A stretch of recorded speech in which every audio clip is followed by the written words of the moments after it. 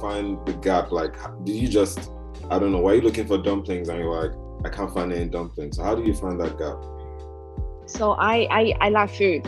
I love eating out. And then my, my dad is also running a few restaurants at that time. Okay. And then I was just searching for anything that missing on the market because my my talent is finding what's the gap in the market and I gave supply because I think that's the basic understanding is the demand and supply. Yeah. So I found a, a missing gap like uh, my friends craving for good dumplings because I actually literally asked them if you want dumplings where you're gonna go to? And then they were like i go to supermarket i buy the frozen dumplings. Oh yeah and then make it. Yeah so i did initial experiment. I did a test of concept by just selling dumplings online so i was delivering to like certain points say stratford and then chinatown because i live in east london so i got i told my clients go to stratford like this day, this time, and then I will give you dumplings you order. That's how I started first. And then I received lots of orders, and uh, for the ch- first Chinese New Year, you know, mm. Chinese New Year is some special festival that people have yeah. to eat dumplings. Yeah, and yeah. I I didn't sleep for three days just making dumplings and then delivered the dumplings. Wow. And then the day I came back home, I didn't have like I didn't enjoy the Chinese New Year. I was sleeping two days. Oh, oh it's so that's that's why I got I know like yeah people want dumplings and then there there need to be more uh, like innovative way of doing dumplings, more flavors, more yeah. like good quality dumplings.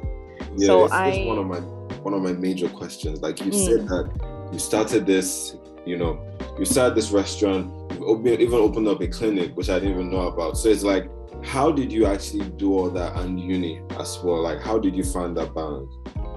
Hmm. Can I say that I didn't win to lecture? I can't say that because it would be really bad to, to um, talk to people. No, like I think you see, like university lecture, they all they, they don't have like a full day lecture. They always like either the morning session or the afternoon session. Yeah. And uh, you just you just do the work in between because for clinic I also and then there's also like three holidays per year, and then there's also reading weeks. Yeah. So I will I will I, I actually start all this when I having like the free time in the holiday time in the reading week, and then when there's a like exams week or exam months that I I would like contribute to just doing the exam because I want to pass an exam I want to get a degree Mm-hmm. And then during this time, I will handle my work to my business partner. So always get someone to do the work with you, business partner. Yeah. Someone you can trust, even just one person. Mm-hmm. Yeah, just yeah. And then uh, so I kind of split split this business like model into something that fits into daily life. You like you cannot do something that doesn't fit your daily life. Yeah, yeah, yeah. That's true. That's yeah. True. Well, more specifically, like the restaurant, how did you even fund it? Like to begin with, did you have like any external help, or did you save up? Like, so how how did you fund it actually? So uh, because the um the the food food market is really small, mm-hmm. um, it's like 20, 15 square meter. I kind of use them like I use like 40,000 40,000 pounds. Okay. I, got this money from my my parents. Okay. Yeah, yeah, but we we we we um we repaid. I repaid those all money like pretty quickly in the first uh, eight months. Yeah. interesting. It's not it's not really big investment. It's something that we can afford it. Yeah. Yeah. Yeah. Like yeah. So mm. if I can't afford it, I wouldn't go for it. I wouldn't. I wouldn't put lots of money into it. So yeah, when you, you know, when you had the idea, you're like, okay, you know what, I found this niche, I found this guy. Like, how did you even get the motivation to start? Because I feel like, at least from conversation I've had with a lot of people, like the most important part is actually mm. starting. Like, how do you overcome those fears of, okay, I'm going to fail, or, or like just the initial starting, like the push to start. So how do you even overcome that? Thing is that I always know what I wanted. Is I've been thinking of what I want to do when I was really young. So it's either working in big investment banking company yeah. or, or, or do whatever like financial because my mom was a banker. So and she always want me to do fi- finance, uh, finance stuff or either accountings. And um, my I, I always searching for my own passion. Like i think my own passion is to build a business like something that i can take control of. Yeah. I'm not the person that listen to someone else. Like i have to listen but i don't want to work for someone. And i don't get used to that. Like i don't listen to my parents. Like i yeah and um I know that I don't want to get up like eight o'clock every single day and then go to work and then finish at six. It just it just it just too tight like too fixed lifestyle that I don't want. I want to be uh, free, like by also having some sort of business of my own. Any so specific advice for anybody that's kind of in this boat of oh, you know, I want to start like not necessarily maybe not a restaurant or not a clinic, but I just want to start something that's like physical in a sense that let's say a coffee shop or I want to start um I don't know, like clothing, like a clothing brand, like a store, something like that. Like what kind of advice would you give that kind of person?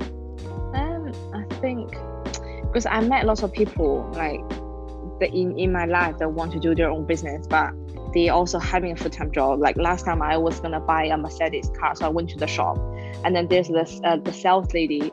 We're just talking, and then she just mentioned about her waffle brand, and she's she's doing full-time job at home, but she also doing this waffle shop online, like selling the waffles. And then yeah. she just doesn't know how to balance it. She if she want to quit her job, and then she's um want to uh, just doing full-time like waffles. So I just I I literally I came in from a, a perspective that how this how what, what kind of lifestyle do you wanted? Do you want to have a baby? You want to have a, a husband? You want to have a full family? And then you have to have a steady income sources. So you have to think about that because doing a business, there's 50% they're gonna fail. And then maybe you have a bank loan, maybe you just wasted all the money from your saving.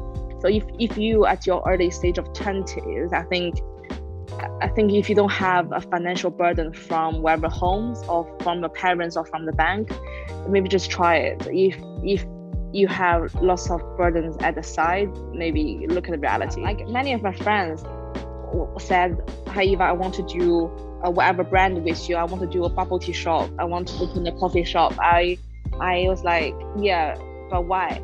And then the first answer I got it seems really easy because it, it doesn't take lots of time. I got a free lifestyle, but I was like, wait a second, that's not true because doing business is really time consuming. I think they, they don't have the like the, the real like whatever um they, they don't know how it feels like to work in hospitality. They just thought it's a, a better job than what they're actually doing now. But when they're actually doing it, they find out it's not it's not better. It, it's worse maybe.